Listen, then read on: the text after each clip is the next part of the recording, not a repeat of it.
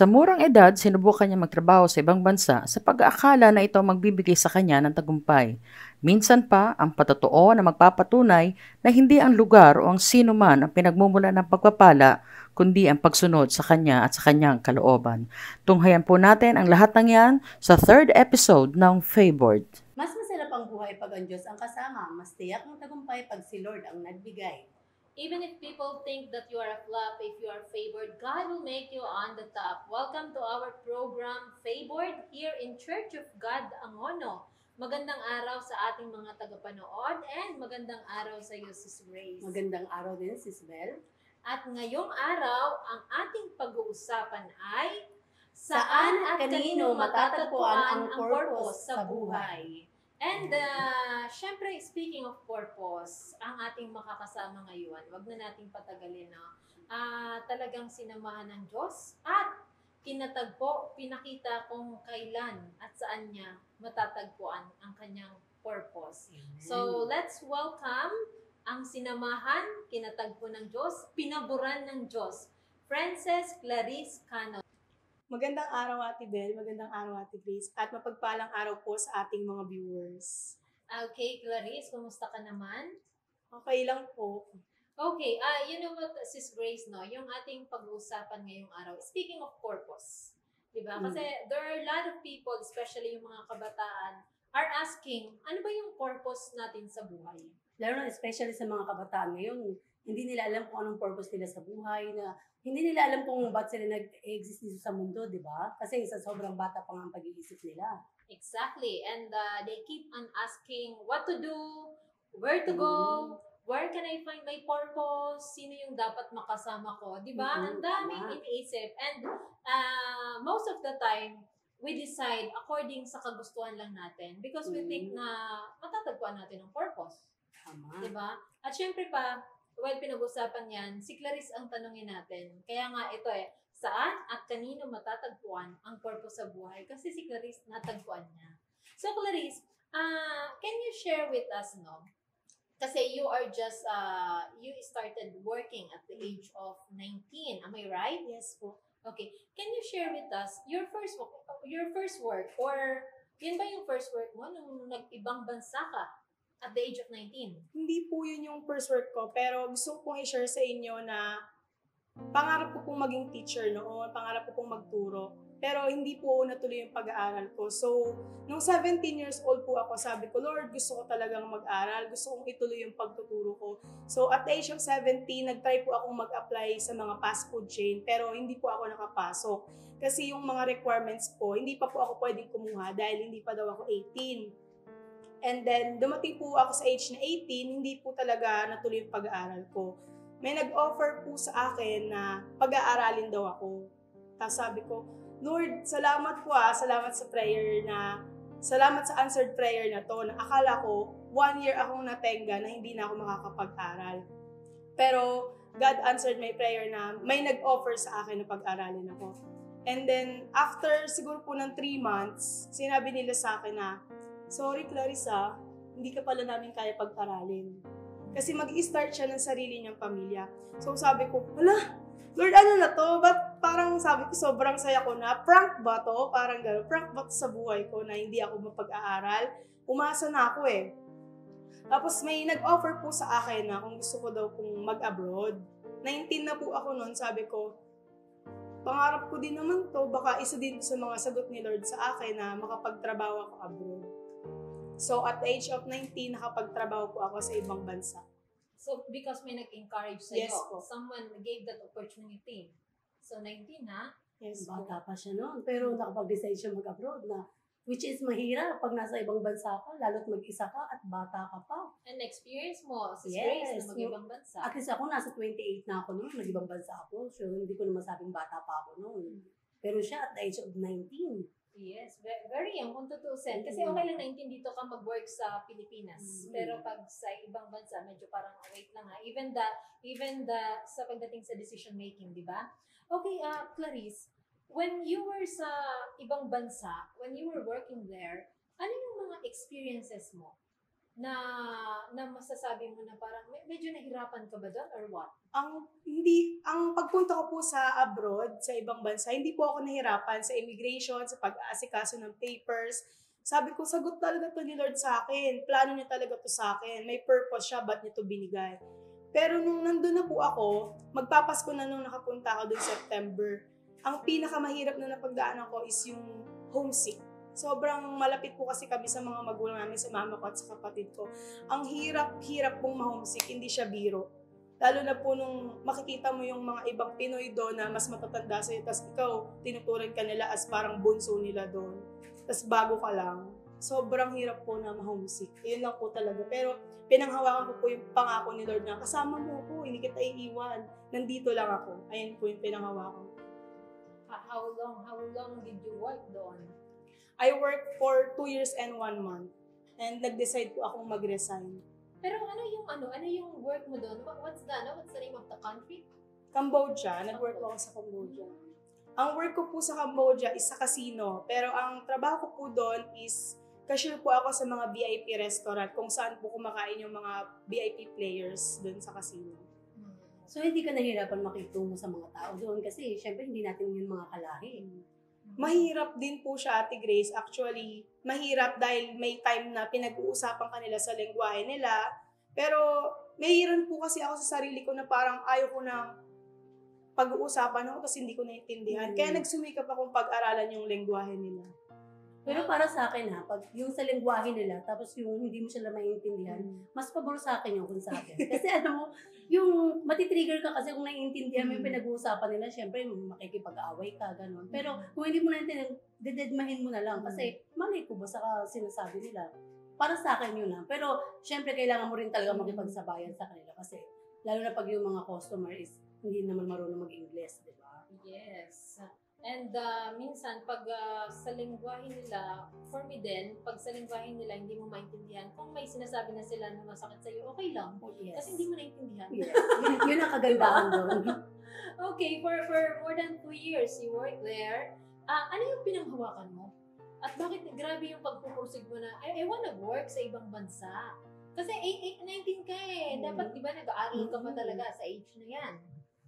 Nung time po na nakapag-abroad ako, ang pinahawakan ko noon, sabi ko, hindi para sa akin ang pagtuturo. Although hindi ko siya tinatalikuran, pero sabi ko, sa panahon na to, hindi siya para sa akin. So sabi ko, ito yung binigay ni Lord na way na makapag-abroad ako. Panghahawakan ko yung mga sinabi niya salita na magtiwala ka sa akin, ako ang bahala sa iyo, kasama mo ako. At isa pa, si Mama. Si Mama po talaga ang pinanghawakan ko na kasama ko siya na kahit malayo kami, pero yung pagmamahal niya, ramdam na ramdam ko. Anong nag uh, ba't ka nag-decide na mag-resign? Nahirapan ka ba? Or anong nangyari? Nag-resign ako nun, hindi po malinaw. Hindi malinaw sa akin kung bakit. Ang goal ko po kasi sa abroad is 5 years. 5 years pataas. Gusto ko talaga dahil pangarap namin ni mama na makapagpatayo ng bahay. Pero, ewan ko, nung mga panahon na yon December 2019, sabi ko, Lord, paano na ba to? Bakit parang yung heart ko, hindi na ako masaya dito? Parang hindi na siya healthy, hindi na ako okay mag-work dito. I, I decided na mag-resign. December 2019, nakauwi po ako ng Pilipinas. And then, January, sabi ko, Mama, mag-apply na kaya ako ng work. Sabi ni Mama sa akin, hindi anak, magpahinga ka muna. Tapos sabi ko, February na, parang one month na akong nakatambay. Parang hindi ko kaya ng ganito katagal na walang ginagawa. So, February, naghanap ako ng trabaho. February 22, natanggap po ako sa isang call center company. And then, until COVID happens. March 15, nag-declare sila ng total lockdown. Sabi ko, ano ba yan, Lord? Grabe talaga yung answer mo ah. Na-realize ko noon, na sabi ko, na umuwi ako ng Pilipinas nang hindi ko alam kung bakit, hindi malinaw, pero gusto ko pa magtrabaho, pero kailangan ko nang mag-resign. Sabi ko, nakita ko yung purpose na pinauwi kita anak para hindi ka mahirapan dahil may dadating na pandemic.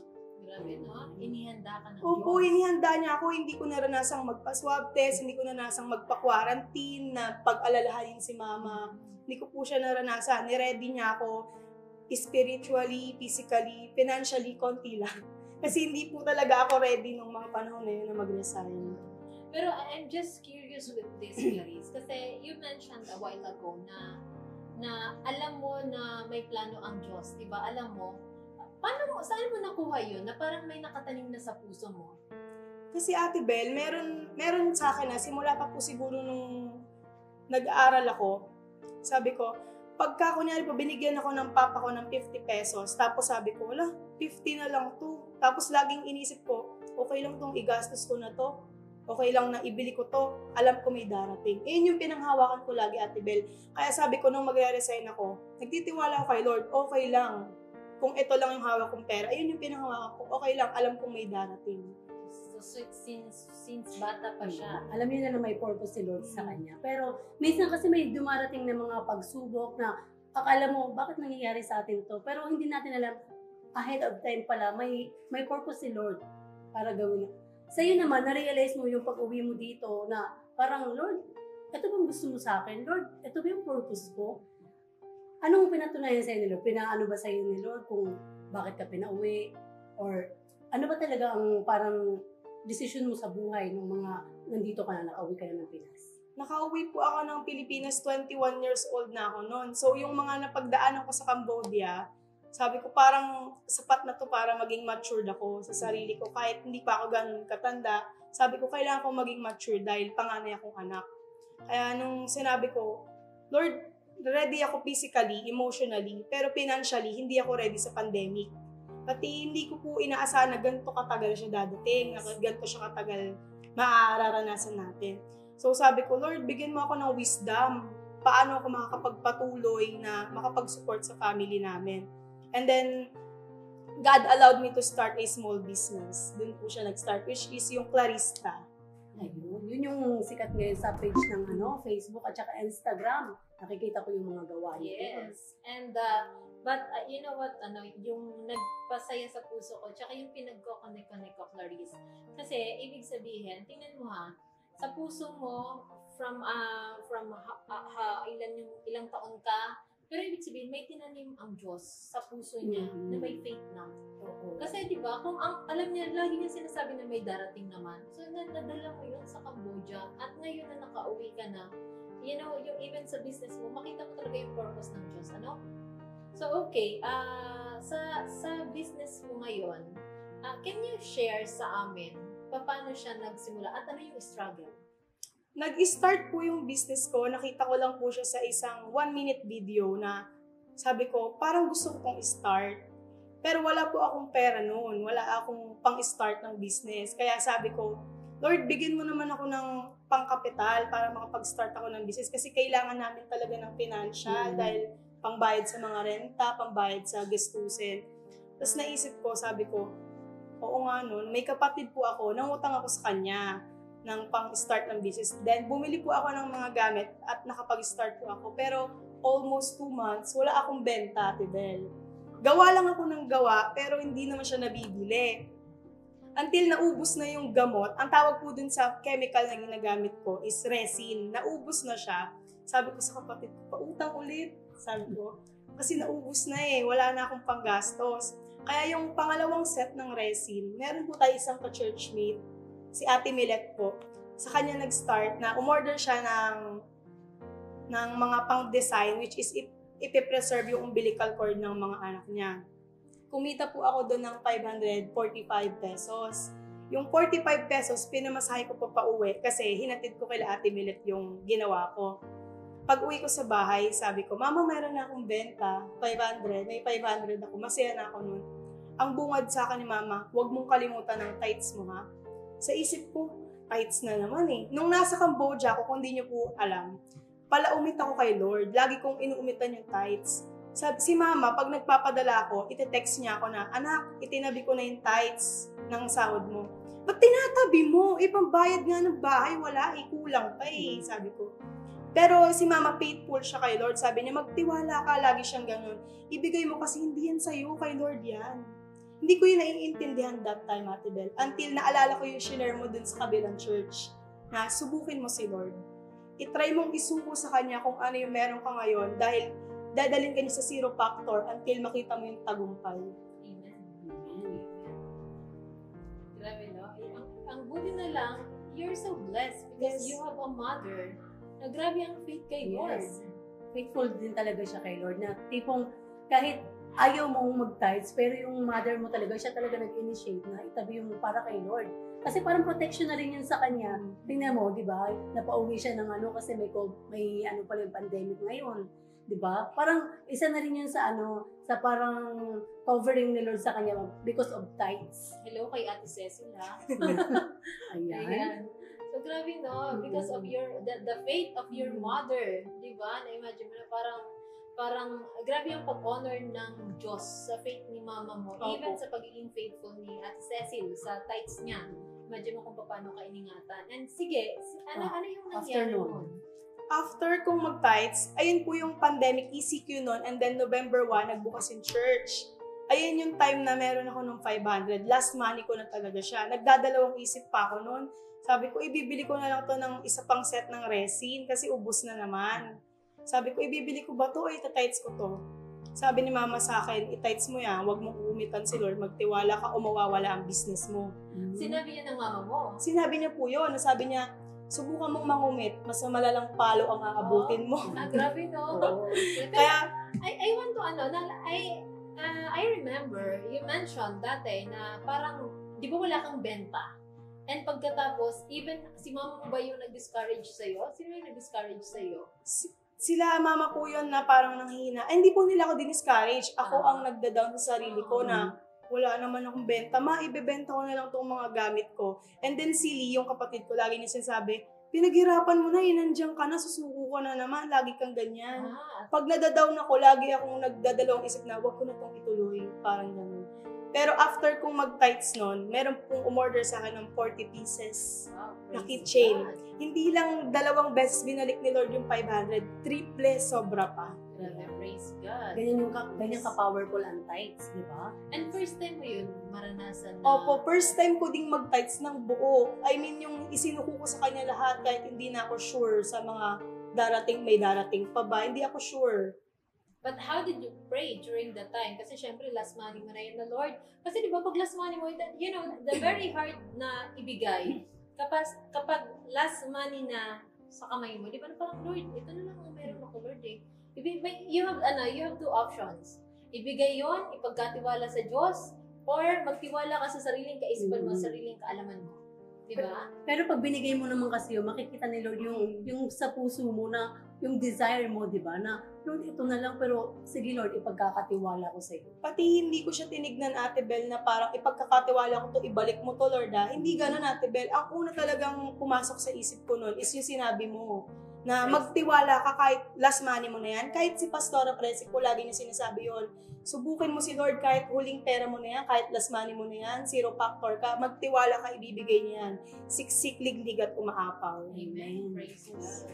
At least doon siya humuhugot yung mga salita talaga ni Lord. Kasi kahit kailan si Lord, yung salita niya, pinapatunayan niya sa bawat isa sa atin, di ba? At doon mapapatunayan kung gaano ka-faithful si Lord. Amen. Pag balik-balik ta rin man ang situation, we cannot deny the fact that God is so faithful.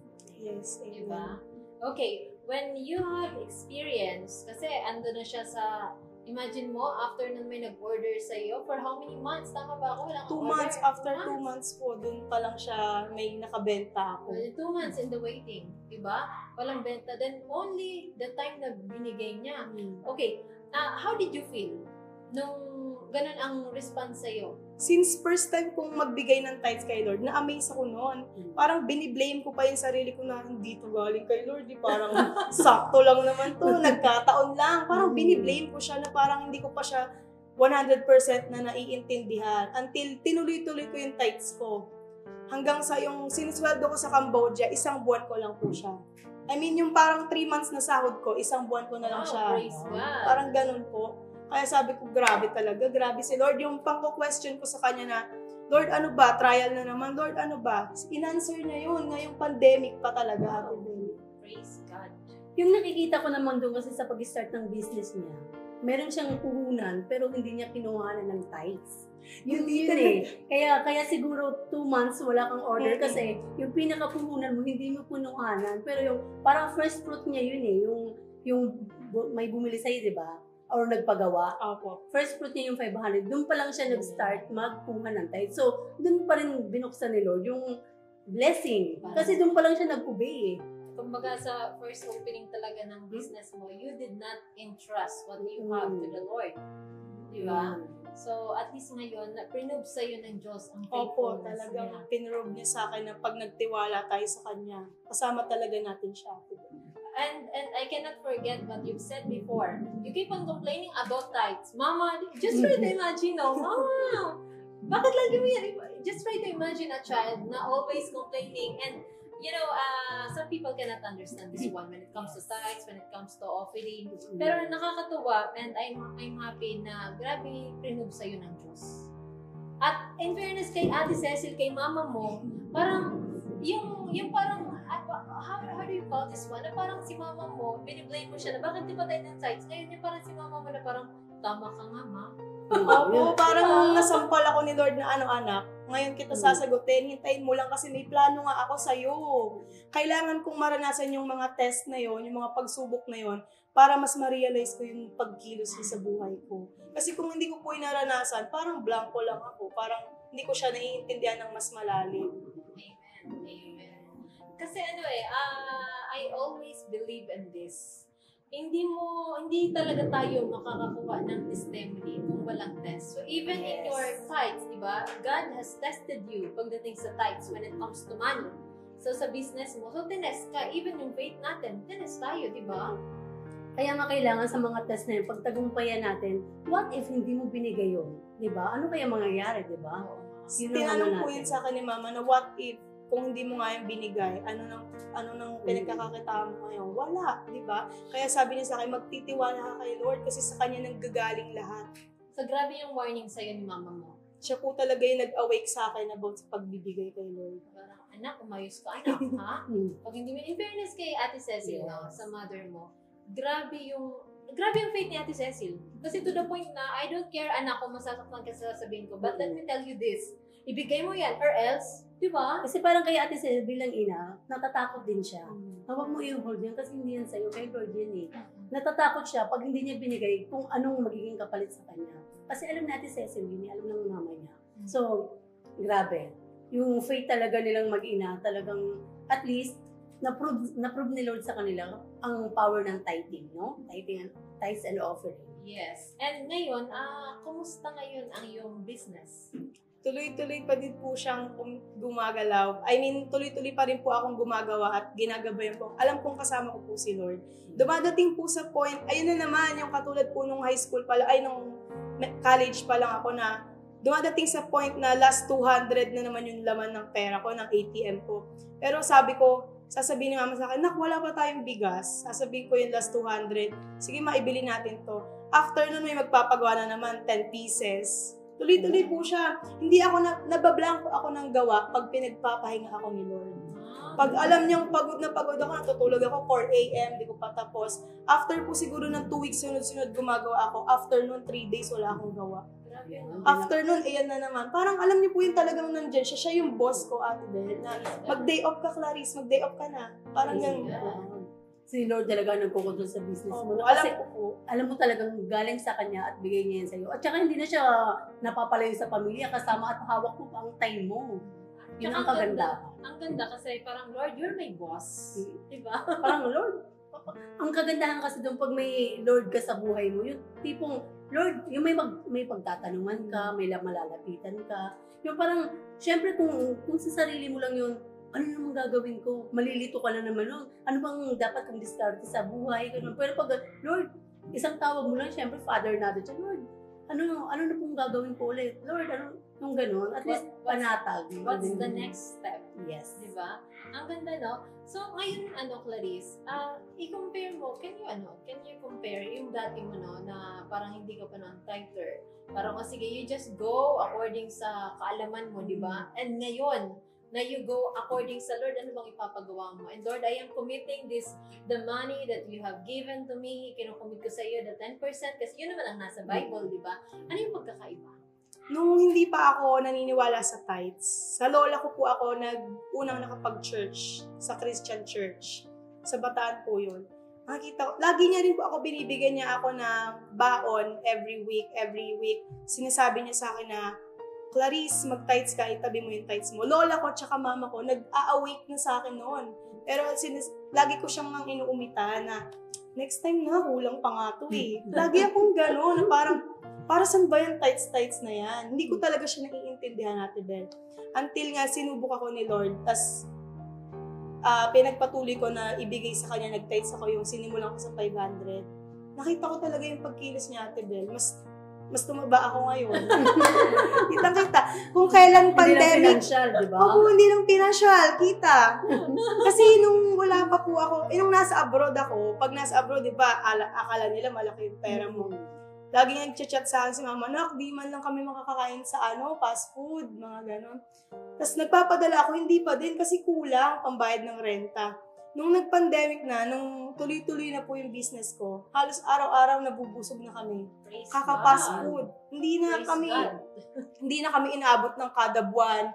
Na, tapos ang, ang prayer ko talaga kay Lord, Lord, gusto kong mag-share kasi sa church nakikita ko na pag kami may merong kapatiran natin na may dalang pagkain, sabi ko, Lord, gusto ko rin ng ganun. Gusto ko talagang mag-share. Paano? Eh, wala akong income. Until binigyan ako nila, o sige na, ito na anak, project, gumawa ka. Nag-share ako ng nag-share. Gusto ko po yung ganun, yung isi-share ko siya. Na parang kasi yun yung pangarap ko, makapagbigay ako. I like the desire of your heart, no? Kasi hindi naman lahat ng tao ganyan eh. Sabi nga dun sa ano, be blessed to be a blessing to others, di ba? Yung kailangan, syempre, i-bless ka muna ni Lord para mag, paano mo i-bless yung ibang tao kung hindi ka naman bless ni Lord, di ba? So, mas maganda yung, Lord, i-bless mo ako, Lord, kasi gusto ko rin maging blessing sa ibang tao. And I believe God will bless you more. Kasi, kakaunti na lang na tao ngayon na nagkakaroon ng desire na ay Magbigay. na magbigay. Kasi di ba karamihan, oh, well I'm sorry, pero karamihan di ba puro kabig, kabig, ako, ako, akin. Okay, kulang, kulang. Kulang, kulang, akin, akin. Lalo na ngayon sa panahon ngayong pandemic, di ba? Na parang, ay, kailangan ko magtabi kasi mali mo mag-lockdown ulit. Paano na lang pag ano, Mm. yung gano'n. Kasi siguro sa buhay nila, wala, wala silang Lord na, Lord, ito, ito na lang yung natira sa akin para ibibigay ko to Lord. Alam ko naman, ikaw ang provider namin. Ikaw ang magbibigay ng kung ano ang kailangan namin. Yung gano'n, di ba? Pagtitiwala sa Yes. Diyos. Grabe na mo ba ko doon, Clarissa? Yung, the desire of your heart, in fairness, ang pure. Mm. Kasi, bibihira na lang ang maririnig mo na ganyan na, what? To, you want God to provide you so that you can provide for others. Samantalang ang iba, Lord, provide us so that I can provide still for myself.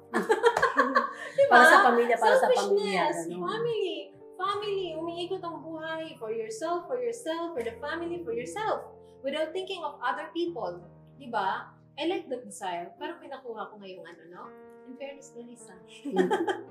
so, okay. Ah, ngayon, ah, dahil sa okay yung business mo, I, I believe you are you are committed now sa church, di ba? Opo. Sa si ano ka na, worship team. Hmm, Si Clarice ay nasa worship team ko. Tsaka every no? Saturday at tsaka ano, ah, Sunday, Andito. day off mo, di ba?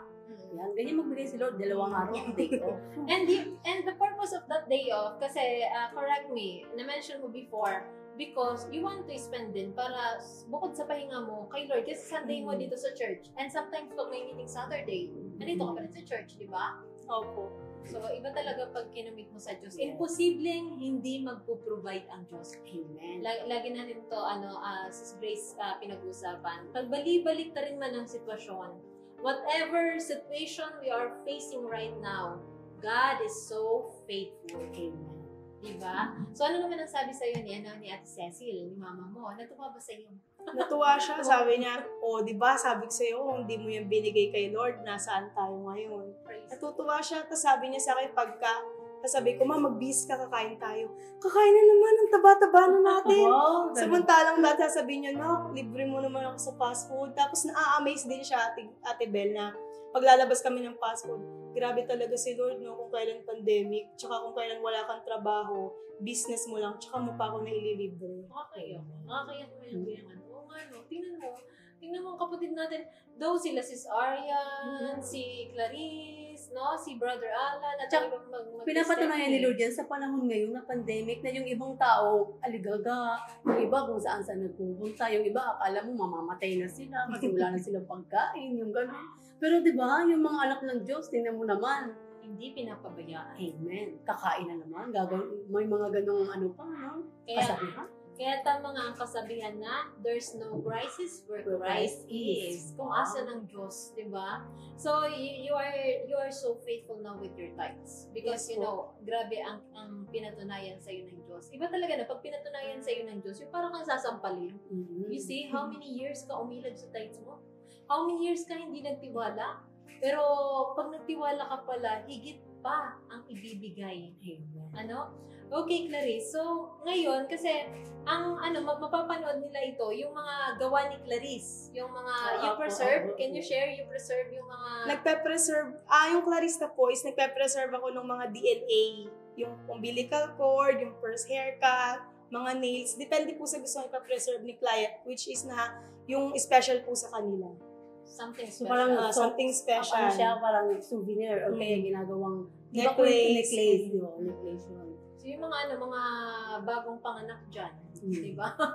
Kung meron kayong mga tinatago dyan na nasa wallet nyo lang, ipa-preserve nyo na kay ano, Miss Clarista. Very creative si Clarice. Yes. Very Napakaganda creative. ng mga gawa niya. And we're going to, ano, i-share natin yung picture dito sa mga gawa ni Clarice. Okay, Clarice, ano, ah, ano yung mensahe mo sa mga kabataan or ah, ganito na lang, Clarice, yung buhay, before tayo doon mag, ano, no, mag-jump, yung, yung buhay mo noon, noon na tipong nung nasa ano, abroad ka pa, and ngayon na nandito ka na sa Pilipinas, na mention mo na 3 months, katumbas ng 3 months na sahod mo sa ibang bansa, one month mo lang dito. Diba? Are you enjoying now the blessing of the Lord? nag enjoy po ako sa blessing ni Lord kasi sobrang nakikita ko na yung pinaghihirapan ko, hindi lang sa sarili ko. Kasi kasama ko na si Lord ngayon eh. Mas okay na po yun na hindi na tao yung boss ko, kundi si Lord na, na provider natin. Alam ko na na hindi ako natatakot na katulad po nung nagtatrabaho ako sa abroad na walang sahod ngayon eh, next month ka na ulit sa sahod. Natatakot ako kasi wala akong ipapadala, wala akong panggastos. Hindi po tulad ngayon. Kahit wala akong gawa ngayon, naniniwala ko pinagdi-day off lang ako ni Lord. Amen. Amen. Praise God. Diba? Ang ganda, no? If, if, if parang feeling mo walang nangyayari sa business mo, o kaya parang feeling mo pahinga ka, ang ganda nun, hey, diniday off ka lang ni Lord. Kasi ayaw ko nang mag ano ng negative, Ate Bel, Mm. kasi dumating din ako sa point na, na kasi magwa one year na po yung Clarista, na nung una, sobrang sagana niya until zero talaga, walang wala po akong gawa for two months na naman. Two months akong walang gawa. Sabi ko, Lord, ang tagal na ng day off ko, ang sakit na ng likod ko. Wala pa rin akong ginagawa. Gusto ko na po ulit magtrabaho. Tama na yung day off. Masyado Mm. nang mahaba. Pero ngayon po, tuloy-tuloy na siya ulit. Wow, praise God. And may nakita ko sa post mo, ah, sa, minsan may nagpapaga souvenir sa, ano to, sa binyag, Opo. ba ako? Diba? Na talaga namang isang client lang, ang daming order. Praise God. So, ang daming, ano, ang daming ah, pag-angat na ginawa. Ang laki ng pag-angat na ginawa ng Diyos sa buhay mo. Okay, sige. ah ano yung message mo? Especially sa mga kabataan. You are only 23 years old. Am I right? Yes po. 23 years old, just try to imagine no, sa mga kabataan ngayon, 23 years old, 19 years old, nag-ibang bansa, binalik dito ng Diyos, at ngayon natagpuan mo yung purpose mo dito. At ngayon, very, very, ano, very ah, clear sa kanya ngayon na ang Diyos ang boss mo. Diba? Yes. Pag, si, pag si Lord kasi ang boss mo, parang yung desire ng puso mo, yun ang ibibigay niya eh. Kagaya yung desire ng puso niya, kasama lang niya ang pamilya niya kasi nang-homesick siya sa ibang bansa. So ngayon, nag-work na siya, nasa paligid lang din niya ang pamilya niya. So, what a blessing. Yes. Mhm. And uh, just try to imagine, Lord, right now, Lord, at least I can eat what I want. I can go where I want to go. Di ba? So anyway, Clarice, uh, what is your message sa mga kabataan who are watching right now na feeling nila where to go, what to do, saan na ba talaga papunta, at para matagpuan din nila ang Diyos sa buhay nila at mas lalong maging clear ang kanilang purpose sa buhay. Para po sa mga kabataan na makakapanood, lalo na po ngayong pandemic yung mga nag-aaral, hindi lang po sa pag-aaral or sa pag-graduate yung susi ng tagumpay natin. Kasi dati nadadown ako sa sarili ko na hindi ako graduate, hindi hindi ako pwedeng makipagsabayan sa mga dati kong kaklase. Down na down ako sa sarili ko. Pero itry niyong hanapin si Lord sa puso niyo. Ibibigay niya yung purpose niyo. Maniwala kayo sa akin. Inaalis tayo ni Lord sa maling daan sa buhay natin dahil siya lang ang tamang daan lahat ng magagandang plano, lahat ng magagandang blessings, naka-ready na yan. Ang kailangan mo na lang gawin, ay sumunod at magtiwala sa Kanya. Lahat ng trials, struggles at hirap na nararanasan natin ngayon, lahat yan may purpose si Lord. Pinagpapala ni Lord, pinapabura ni Lord ang taong naniniwala at nagtitiwala sa mga plano niya. Amen. Amen. Wow. What, what a great testimony again for this episode. Yan, na-bless na naman tayo. May mga magagandang na, na ano na natututunan na naman tayo sa guest natin ngayon, di ba? Yes. I, I like the line na pin, pinag pina, ah, pinapaboran ng Diyos, pinagpapala ng Diyos ang mga taong nagtitiwala.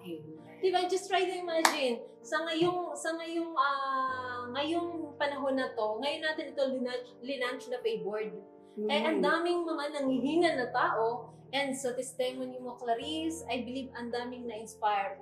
To those who are always asking, Lord, ano ba yung purpose?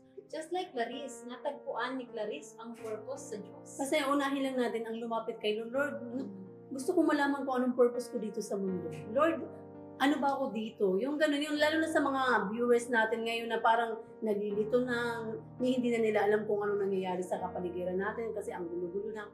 Just to, ano, pray and talk to God. Yun lang naman eh. Yes, wag kang eh, sa ano sa mga kabataan ano kasi 'di ba? Ito uso ngayon. ah, even noon. Ah, pag may problema, pag parang gulong-gulo, friend, inom muna tayo. Don't do that.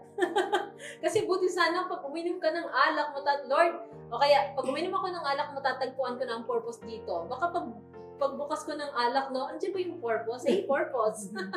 'Di ba? Kasi yung ano, yung pag-iinom or yung mga bisyo na ganyan sa mga kabataan, pampalipas oras lang yan, pero kinabukasan nandiyan pa rin yung problema mo. Ganun, ganun at ganun ka pa din, di ba? yes, Pero pag-. Pag kay Lord ka pupunta at magpe-pray ka, talagang hingin mo lang kung ano ang dinidesire ng puso mo. Lord, gusto ko ng katahimikan, gusto ko ng peace, Lord, gusto ko ng love. Yung, yung ganun, hilingin, hingin mo lang yung kay Lord. Talagang si Lord ay tutugon agad sa'yo at ibibigay ang hinihingi mo. in in God's presence, there is joy, there is peace. Yes. Diba? So, okay, ah maraming salamat po for joining us. Clarice, thank you so much Thank you. for so being much. Thank you, Ate. Grace.